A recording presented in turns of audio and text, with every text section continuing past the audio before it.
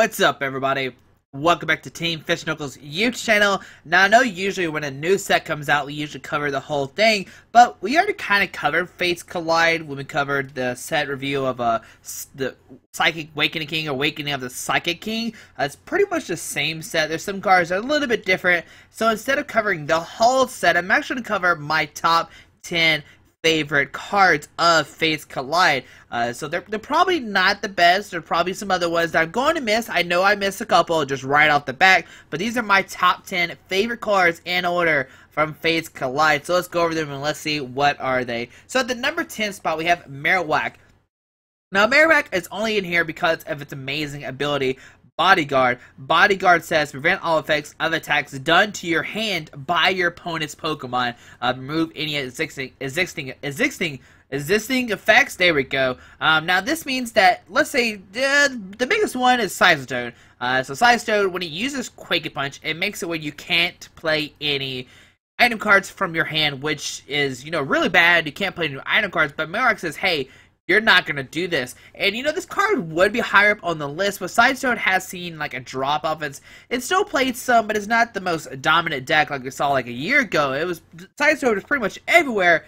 But now it's not, you know, Vespiquens around can can control it. There's other decks as well which can control Seismitoad. So if, if Seismitoad was one of the biggest decks, I would see Marowak as a higher up seed. But right now it is a number 10 spot. Alright, so at number 9 we have Genesect EX. Uh, Genesect EX, it's mainly in here because Genesect is like one of my favorite Pokemon. Like Genesect Virizion is like one of my favorite decks of all time, and it has the ability Drive Change, which is pretty neat. Once during the turn before you attack, you may return a Pokemon Tool card attached to this Pokemon to your hand, so you can maybe reuse tools, maybe switch out tools from Genesect if you want to, uh, which is pretty neat. Rapid Blaster 100, discard as many lightning energy attached to this Pokemon as you like. This deck does 20 more damage for each metal. I think I said lightning, but it's definitely metal. I don't. I, I said lightning because I was playing electric, but I, if I said lightning, I'm not sure. But you would discard as many metal energy attached to this Pokemon as you like. This deck does 20 more damage for each metal energy you discard it.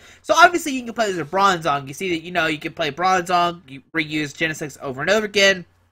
You do have to discard four metal energy to take a knockout though, because with three, you only do 160. You could play a muscle band uh, to do 180. Uh, maybe, oh, this is where you can switch out. You can play muscle band or Fighting Fury Belt to do 170 or 180, which is pretty neat. So that could maybe see a, maybe we'll probably see a deck with that. Genesect to Bronzong. I definitely want to play that deck with maybe Zoroark and Standard, so you can stand in, use Metal Links onto your Genesect, uh, retreat back into your Genesect, use Rapid Blaster. Oh, man, that seems like a lot of fun. So that's going to be my number 9 spot. Probably not the best attacker, but I mean, Genesect is just, you know, has a place in my heart. So at the number 8 spot, I know a lot of people aren't happy about this card. They're probably pretty upset. I'm actually happy because it does control a lot of different decks, and that is going to be in. Uh, this is actually the Noble Victories one, but in, it's a reprint. Each player shuffles their hand into the deck, and then each player draws a card from each of their prize cards remaining. Now, this is going to help out against a lot of decks. There wasn't really a way to punish your opponent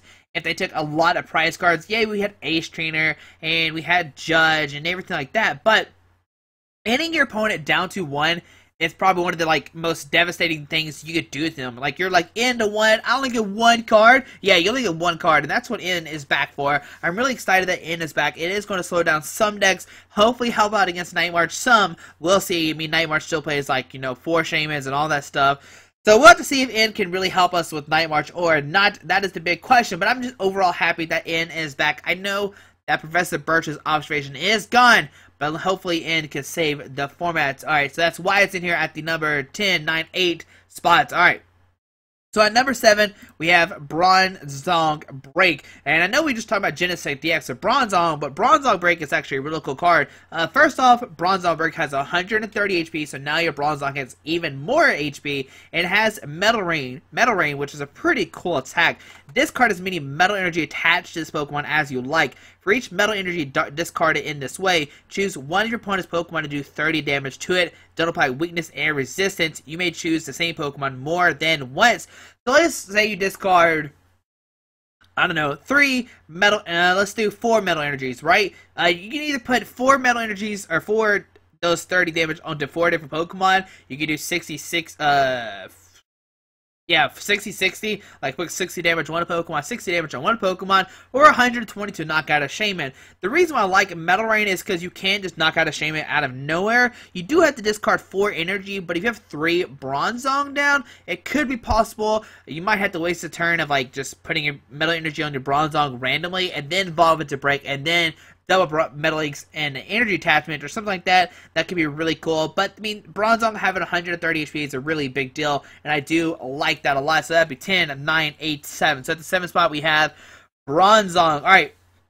So next up, I think it's number six, if I remember correctly. Uh, number six is going to be Mega Alakazam. All right, so Mega Alakazam, not really too much to show off. Um, I just like it because of the Mega, Alakazam, and uh, 10, 9, 8, 7, 6. So yeah, we're almost close to number 5. So we're putting Mega Alakazam at number 6 because it has a really cool attack. Zen Force 10, this attack does 30 more damage for each damage counter on your opponent's active Pokemon, which might not seem like a lot, but this is going to be really cool with Alakazam that shall here in a second. But the main thing I'm happy about this is I do like Alakazam a lot. Uh, like playing Red and Blue, getting Alakazam was one of my favorite Pokemon to get.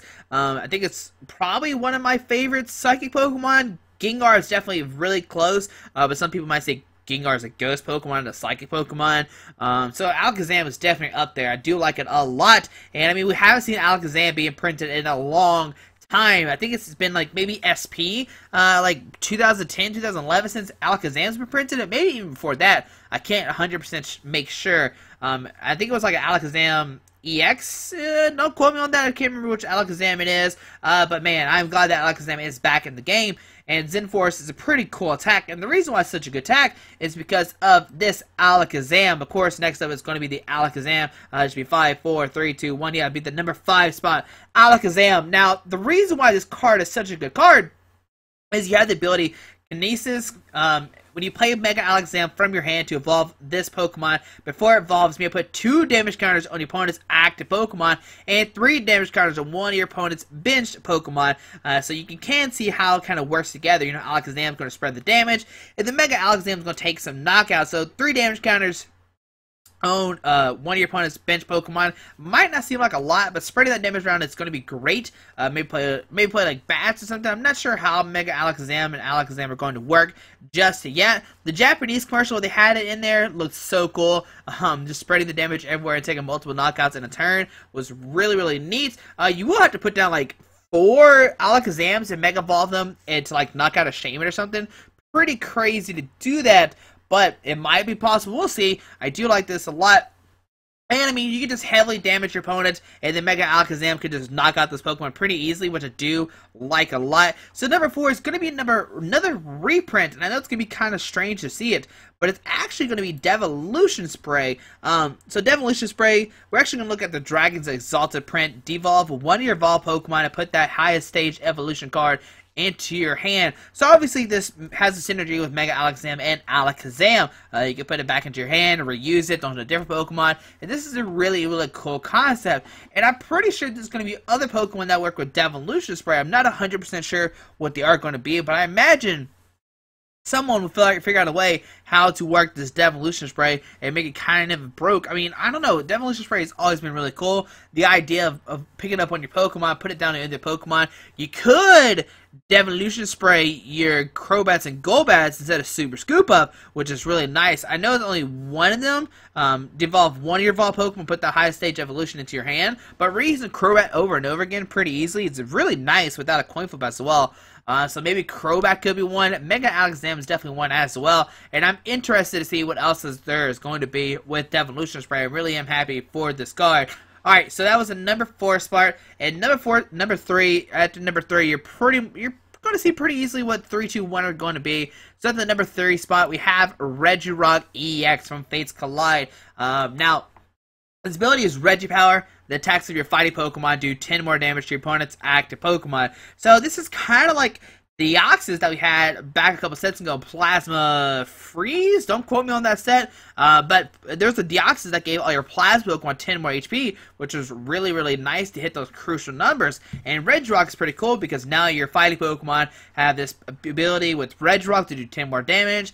They got uh, fighting energy, Uh, they got the fighting stadium. There's a lot of things going for fighting Pokemon right now to make them one of the strongest, you know, types in the game. And I really am excited about this. And you have Bedrock Pros, uh, Bedrock Press, sorry, 100 damage during your opponent's next turn. Any damage done to this Pokemon by attacks is reduced by 20. Uh, also, Regirock is excluding Regirock EX. I don't know if I said that. It's kind of like Deoxys.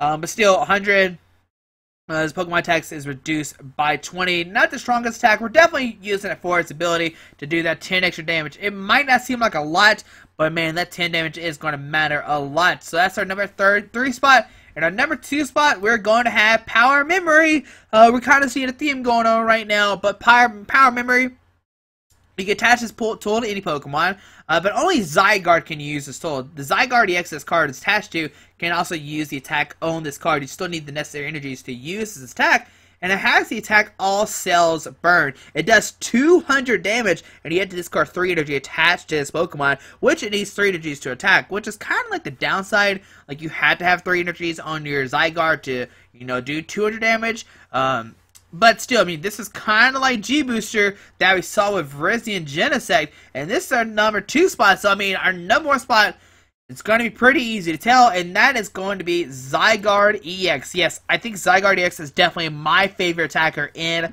Fates Collide. Alright, so uh, Zygarde EX has first deck is gonna it has three decks first off, which is amazing. It also has 190 HP, which is amazing as well. I mean, this is one of our highest EX Pokemon without being a Mega, which is really, really nice. Put a Fighting Fury Bell on that guy, he has 230. Woo! Alright, I'm excited for this guy. But Land's Pulse, 20, if there's a Stadium card to play, this tech does 20 more damage. So let's say you have Fighting uh, Fighting Stadium L, you can do 20, then another 20, so 40, and then the Fighting Stadium 60. Just off that right there, uh, Fighting, uh, Fighting uh, fighting energy. So now we're doing 80, 20, 40, 60, 80. 20, 40, 60, 80. Yeah, so 80. And with the Red Regirock, you can do 90 damage for one energy. You can do 90 damage if you have all that stuff out. It is five different things, but 90 damage for one energy is crazy. You're two-shotting EXs with one energy, while they have to two-shot you as well. Which is really, really, really nice. This is why I love Zygarde. It's going to be such a strong card, and I am so excited to play this. And they're making a 10 out of this, a 10 promo card. Oh man, thank you Pokemon. The second attack is going to be Cellstorm 60, heal 30 damage from this Pokemon, so maybe we can kind of tank it up some, maybe play like Pokemon Center Lady, get kind of fancy, but Cellstorm for 60, including you know, all the different side effects and everything like that. Cellstorm can easily, maybe, it can maybe one-shot. Let's see, if you have 60, alright, let's see, you have 60 On it, you have four Regirock, 100, a Fighting Stadium, 120, and four Regirock EX, you have 160, and the Muscle Band, 180. So you could potentially, you could potentially one-shot an EX with two energy with Cellstorm. That is crazy. That is amazing. And then Land's Wrath for 100. But I think once you get to the three energies, you're just going to center somebody up and use Power Memory. Uh, the cool thing about Power Memory, it's not an Ace Spec, so you can play multiples in your deck. And I'm excited to see what Zygarde is going to do for the game. the only thing I'm kind of scared of is Night March. Like, Night March can easily just take this deck down, but they do have to put a lot of Night Marches in the discard pile before they can start knocking out your Zygarde. He is weak to grass, the Vespiquen is kind of a worry, but, uh, I mean, I think it's worth it. I think it's worth it. I'm excited to see what Zygarde is, and uh, so that is my top 10 list. Let's go over one more time. It is going to be Marowak because of its ability, Genesect yes because Genesect is one of my favorite Pokemon, and because we can finally control our opponent's hand, Bronzong to give our Bronzong, every uh, extra HP. Uh, next up is going to be Mega Alakazam because Mega Alakazam is uh, Alakazam is finally getting a reprint and has a cool attack that combines with Alakazam uh, EX with the Kinesis ability. Uh, next up is Devolution Spray uh, to combo with Mega Alakazam as well as other cards, and I'm excited to see what those are going to be. Regirock EX to give Regipower to do 10 more damage for all your fighting Pokemon. Power Memory so you can do 200 damage. Maybe I should swap those. I don't know which one's second or third. Power Mirror Regirock. They both seem really good. And last but not least, it's going to be Zygarde EX. So that is going to be my top 10 list from Fates Collide. And I know there's probably cards I missed, like Carbink Break. Um, there's Carbink. There's Mew. Uh, there's probably some other stuff as well. But this is my top 10 list. These are top 10 cards I like the most. Um, like I said, there are a ton of cards in Fates Collide that you could maybe go over and talk about. But we're just going by top 10 favorite cards. So hopefully you enjoyed this video. Thanks for watching. Leave your comments down below as to what your favorite card from Fates Collide is. I am actually, I'm actually interested to see what people think about the set. A lot of people say the set is really bad. It doesn't have anything really, but I think it does bring a lot into the standard format, which I am excited about. But hopefully you enjoyed this video. Thanks for watching. Hope you have a great day. Alrighty.